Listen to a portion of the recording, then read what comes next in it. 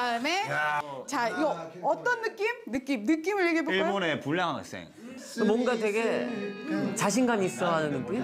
자신감 있어요. 맞아요.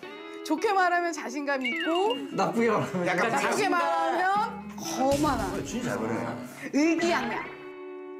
맞아요? 맞아요? 전 그렇게 그래서 살았어요. 그쵸. 그렇게 사셨죠? 평생을 그렇게 살았어요. 그쵸? 발도 약간 네. 짝발이에요. 짝발이네요.